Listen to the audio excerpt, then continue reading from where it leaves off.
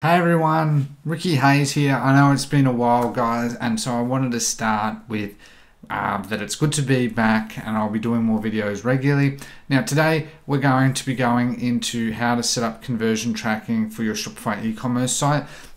I should also add this same principle works for any type of e commerce site as well as lead generation. It is very standardized.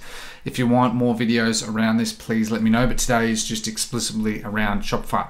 So once you've made a Google ad account, um, from the Google ad account, all you need to do is go into conversions and you set up a conversion. Now you can have custom goals, you can have a lot of different things. We're going to keep it very simple for today's uh, lesson, so it's short and sweet. You go conversion action and you set up the conversion action to be for a purchase. Okay, because we are an e-commerce business, we want to follow those steps. Today I've gone purchases as the primary action. You use different values. So it's dynamic values because it's a transaction in e-commerce. One person could have $20, the next person could be $60, so on and so forth. The source is the website. We want to get every conversion 30 days. Three day um, engage view window, view through one day, and I just leave it in this case as last click. We can go into an entire discussion about the different types of settings here. However, for today's discussion for this, we're not going to go into that. Next, what you want to do is you want to go tag for site. So if you had a developing a development team, you might want to email this to them. If you use Google Tag Manager, which is a highly advanced tool, we'll get into that in the future lessons. Um, then you would use that tool. However, we're going to install the code manually ourselves. There's a few ways you can do it. HTML or AMP. AMP is basically faster lightning speed pages. So it does have different methods of how you do it, fundamentally similar. But most of the time, still most sites are still HTML. um, we're just going to choose the Google tag isn't installed. You're just going to copy the code. Okay, you can download the snippet, but we're going to copy the code. We go into Shopify now. I've got a dummy store. You go into your theme. Now, by default, it has its default theme.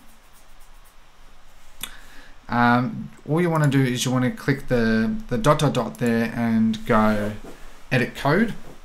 You want to go theme liquid.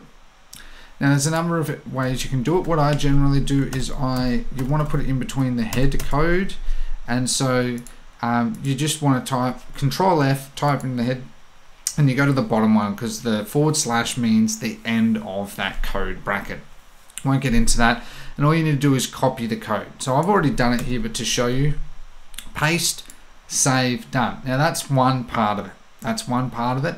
Uh, it's really simple. That will then allow the pixel to fire on any page on your website for various um, similar audiences as well as remarketing audiences and a lot of other things you can do in Google Ads that we'll get into in future ones.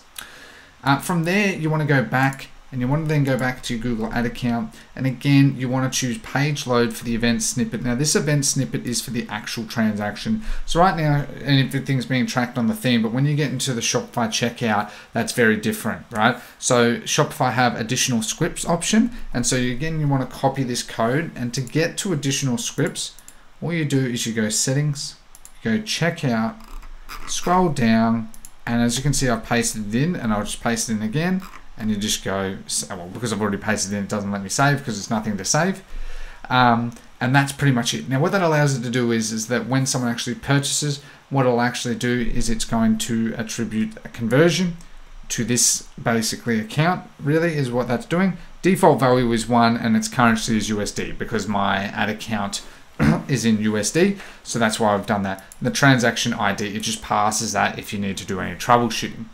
And because we have the conversion goal in Google Ads set that every transaction is different, it will then dynamically put the total amount of the customer's purchase um, in Google Ads. So if you've spent $80 and you got a $300 purchase, that's an $80 cost per purchase. And so you just do 300 divided by 80, whatever that translates to. I chose a, a bad example, but you sort of get my point there.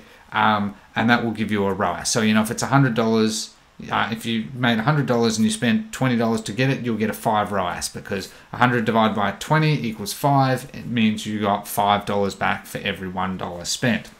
Okay, so that's why this is so important. Now that's just a simple tutorial. As I said, there's a lot more to, to this. Um, if you want me to go into more detail, as I said, there's a lot more conversion actions that you can do for different things. As I said, your website, app, phone calls, import. You can import goals as well um, from Google Analytics. You can do phone calls depending on your type of business. You might be in insurance, you might be a lead generation sales type business like that. You might be an app, app installs. Most of you will be just doing websites. So make sure you just choose website. Now you can put in your domain and Google will try and help guide you through it as well. But that's pretty much how you set up conversion tracking on your website. Um, so it's very, very easy. Once that's done, you never have to really touch it again unless you want to get more granular. Now, look, I hope you have really enjoyed this content. I plan to make more Google ads, YouTube ads, Bing ads, PPC orientated content. I very much love Google Ads. So if you do very much love Google Ads, then please be sure to subscribe. Please be sure to like today's video. If you have any questions, just ask down below. I will be answering all of them. There are some links also in the description if you're interested in joining a Facebook group as well um, to get additional free value and also links to our agency if you want to learn more about our agency as well, as well as my software company, Debutify. But just check the description and that anyway. And thank you very much for watching today. I hope this has been helpful and I'll see you in the next video.